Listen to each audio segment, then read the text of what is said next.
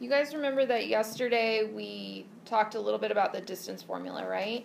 Rockstar. Yeah, the rock star, right? And we talked about how um, we could use the distance formula to find the length between two points or bet- like the length of a segment, right? So let's really quickly write down the distance formula up top up here just so that we remember it. Okay? And remember I told you guys that silly little story yesterday of how to hopefully help you remember it? Okay, so draw the rock star's forehead. He looks like SpongeBob, square head, square pants, whatever. Is it SpongeBob SquarePants? Oh, his name. Okay, now let's draw his eyeballs. Okay, he was sleepy because he partied way too late. He got his eyebrows pierced, making some bad decisions, maybe. And he got himself sick, so he had a runny nose. And in this class, did we say why we had the X's and the Y's in here? No. Okay, this is what third period came up with. He was a rock star, so he all rock stars must have tattoos, so he got some eyeball tattoos. That's what they came up with, which kind of creeped me out, and I think it's kind of gross, but I'll go with it, okay? So, here's his tattoos.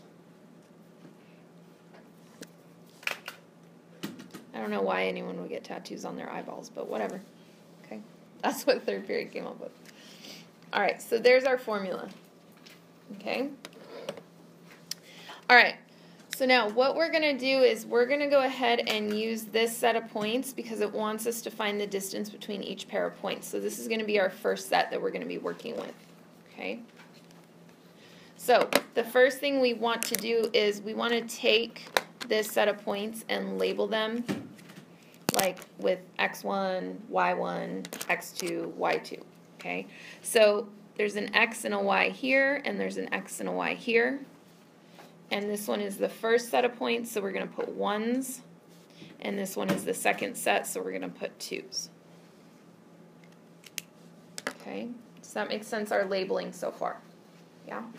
Okay, now we're going to go ahead and do the outline of this. I'm going to fill in everything except the x's and the y's. Okay, so the distance is going to be, and then I'm going to draw my rock star, his forehead, his eyes, with his piercings, and his runny nose. Right? I'm going to draw all those things.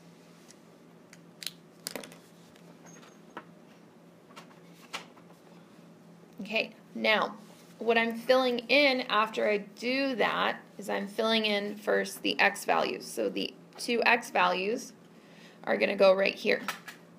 So what numbers are going to go in the places of the x's? Looks like negative 1 and what else? 0. Okay. Does that make sense why those are going there? Okay, now let's go ahead and fill in our y values, which are negative 6 and negative 7.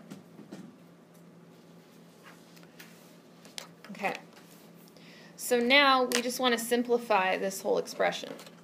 Okay, so when we go ahead to simplify this, negative 1 minus 0 just gives me what? Negative 1? Yeah. Okay. Now, on the next one, don't forget, this double negative here makes a what? Plus. A plus or a positive. So this is actually going to change to say negative 6 plus 7. Okay? If you're not sure what the answer to that is, do it on your calculator, negative 6 plus 7, but you should get positive 1. Okay? All right, now we're squaring both of the numbers. Don't forget what it means to square a number. You're just multiplying it by itself. Okay, so negative 1 times negative 1 gives me what? Positive 1. Positive 1. And then 1 times 1 is also 1. Okay, so from there we're going to add. So inside the root I get 2. Okay, now when I get to this part, what I'd like you guys to do is on your calculator, you're going to figure out what the square root of 2 is and estimate it to be like some type of decimal, okay? So, depends on your calculator. Some calculators you have to hit the square root button first and then put in the number.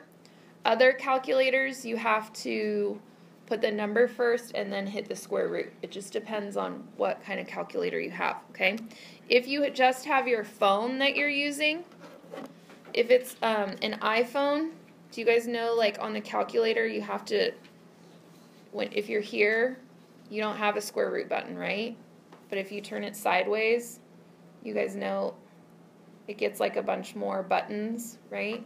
So on the iPhone, I think you have to hit the number first and then you do the square root button, which is this one with the little 2. That's the square root button there, okay? So either way, we get the same thing, which is 1.4142, blah, blah, blah, blah, blah, blah, blah. Okay, so I want you guys to round it to the tenths place, so you have one decimal at the end, okay, after the decimal point. So is this one telling me to round the 4 up or leave it alone? Leave it alone, right? So we just get 1.4, okay? This is your final answer. All right? Okay, are there questions on how we did that one? Any questions there? Okay. What I would like you guys to do right now is I'd like you guys to try problem number two. Okay?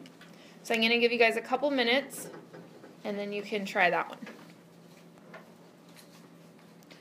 Okay, if you finish it before we check it over, and there's other people in your group, check with those people. See if you guys are, you know, getting it correct, getting the same thing. Okay, let's go ahead and check your progress. So hopefully when you guys labeled you plugged in negative 2 and 3 and then 1 and 5. Is that what you guys did when you plugged in? Okay. Then when you put these together, hopefully you got negative 5. And then for this one, hopefully negative 4, right?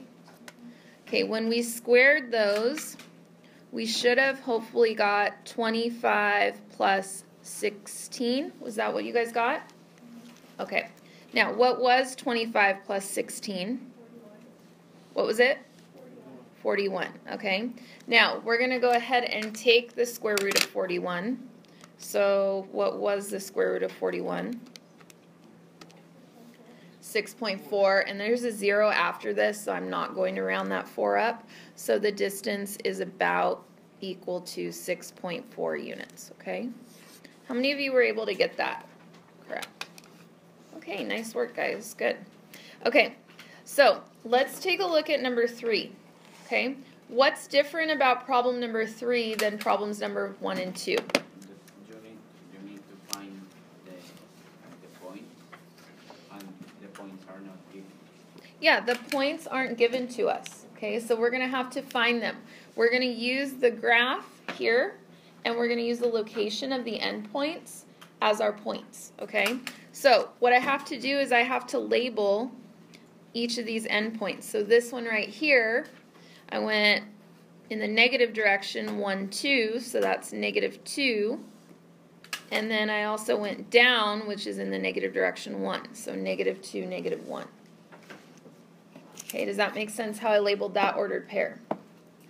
Okay, then this one down here on the bottom, I went over 1, 2, 3, 4, 5 in the positive direction but then I went down one, two, three, four, five. So five, negative five would be my ordered pair there. Okay. So in this type of problem, you have an extra step because you have to figure out what these two points are. If you for, like if you don't count correctly or you forget the negative, if you're going in the negative direction, then it's going to make your whole problem turn out wrong. Okay, so make sure you take your time figuring out these points before you start plugging them into your problem. Okay, now would you like this one to be the first point or the second point? The first one. Okay, so I'm going to call this one x1, y1, and then I'll call this one x2, y2. Okay, and so now I can go ahead and I can just put this into my formula, right? So the distance is going to equal, and I'm going to do my whole outline of my rock star first before I plug in any numbers. Okay, so there's the whole outline. Now I can plug in my numbers. Okay, so for the x's, I'm plugging in negative 2 and positive 5. And for the y's, I'm plugging in negative 1 and negative 5. Okay, and now let's just go ahead and simplify this and work it out. So for the first set of parentheses, negative 2 minus 5 is negative 7. Okay, this one here, this double negative is turning into a plus or a positive sign. So I have negative 1 plus 5. Negative 1 plus 5 gives me 4.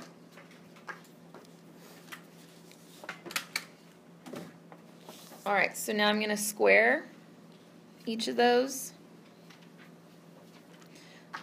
Okay, the first one makes 49. The second one makes 16.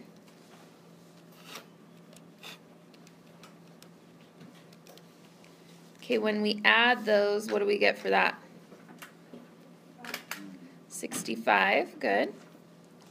Okay, and now I can go ahead and put that into my calculator and see what I get. So the square root of 65, I'm just approximating it, it's 8.06.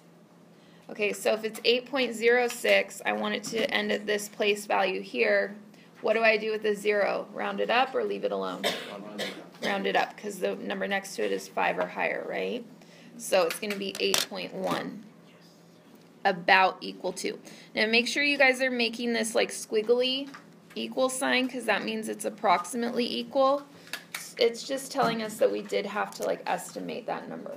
Okay, it's not exact, but it's very, very, very close. Okay. All right. Um, what I'd like you guys to do is go ahead and try number four. Okay. Before you plug your points into your formula, double check with someone at your group on what your ordered pairs are that you guys wrote down. That way you're making sure you're plugging in the correct numbers to start, okay?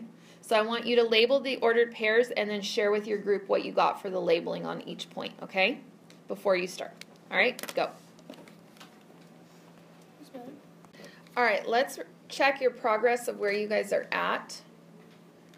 Okay, so this is where you guys should be, like, at least hopefully this far. Did you guys plug in these things correctly? Yes. Okay. All right. Then when we started simplifying, hopefully what we got for this set of parentheses was negative 10 inside there. Is that what you guys got? And then for the other one, negative 4. Okay. Negative 10 squared was 100. And negative 4 squared was 16. So what was 100 plus 16? 116. Okay, so now we're going to go ahead and take the square root of that. Okay, so let's see what we get.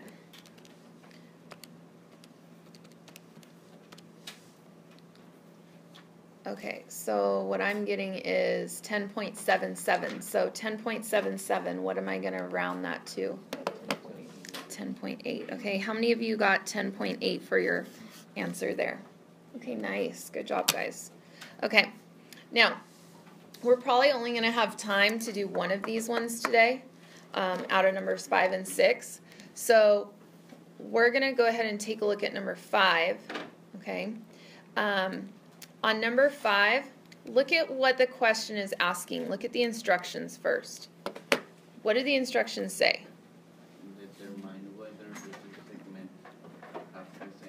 Okay, so it's not actually asking me how long.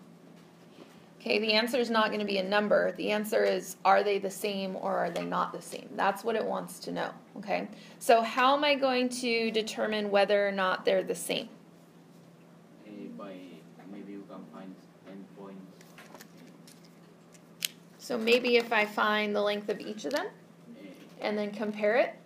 Okay, so to be able to like talk about these two lines and like refer to them, I'm going to highlight this one yellow and I'm going to highlight the other one pink just so when I'm talking about them, I can call one the yellow line and one the pink line, okay? All right, so which one do you guys want to find the length of first, the yellow line or the pink line? Yellow? Okay. All right, so let's go ahead and label our points for the yellow line. Okay, so this point over here is negative 3, comma 1. And this point over here is 5, comma 4. Okay. I'm going to go ahead and call this one the first point, so x1, y1. And this one over here can be the second point, x2, y2. Okay, now I'm going to go ahead and do the template for my distance formula. So I'm going to draw the forehead, the eyes, his piercings, his runny nose, he's sleepy. Okay, I've got the whole template there. And after I have the template, then I can fill in the numbers. Okay, so the numbers going in the x spots are negative 3 and 5.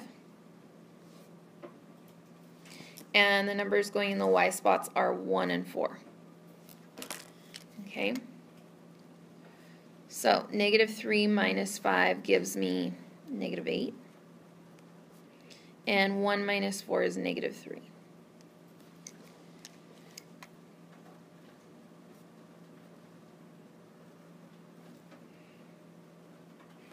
Okay, I'm going to square both of them. So I get 64 plus 9. And then what is 64 plus 9? 73? Is that right? Mm-hmm. Okay. Now, I'm going to go ahead and find my calculator. Okay, and let's take a look and see what I get. So the square root of 73. Oops.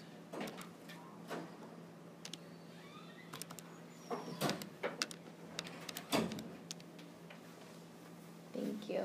And then, can you go really quickly down to the um, to you know who Mrs. Garcia is at the office? In like the main office? Yeah. I can go. Yeah. Can you go? Um, tell, she has something for me, so you're gonna pick something up from her. Okay. Okay. Sorry about that, guys. Okay. So, what do we get here? Eight point what? Eight point five. Okay. Eight point five. Now. 8.5 is not the answer because we're trying to see if the two lines are the same length. Okay, so now what do I need to do? You, uh, do the, the same thing with the other line. Yeah, let's do the same thing with the pink line. Okay, so we're going to label the ordered pair here. So this one is 1, 2, 3, 4, 5. It was negative 5. How much did I go up here? None, so 0, right? And then this point here is 1, 2, 3, down 1, 2, 3, so 3, negative 3. Okay. I'm going to label them x1, y1, x2, y2 for my pink line. I'm going to do my work for my pink line over here. Okay.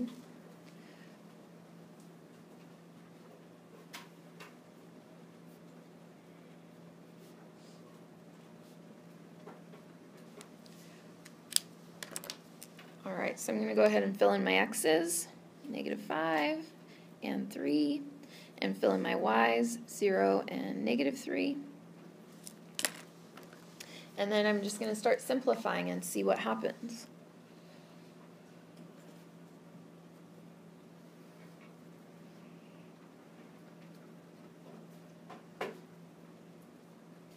Now, what happens to this one? 8 goes a plus. Plus. So 0 plus 3? 3. 3. Now, I want you to look at this step that I'm at here and the similar step in the other problem. I notice that the number here, negative 8, is the same, but the 3 is a different type of 3. Does that necessarily mean that the lines are going to be different lengths? No. Because what happens when I square this 3? What do I get? 9. What happens when I squared this 3? What did I get? 9. Because when I square any number, it becomes positive, right?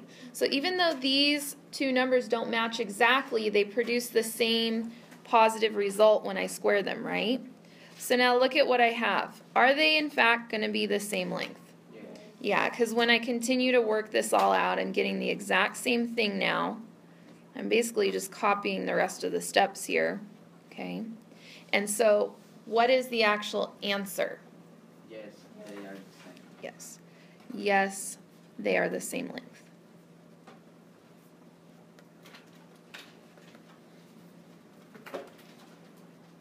Okay.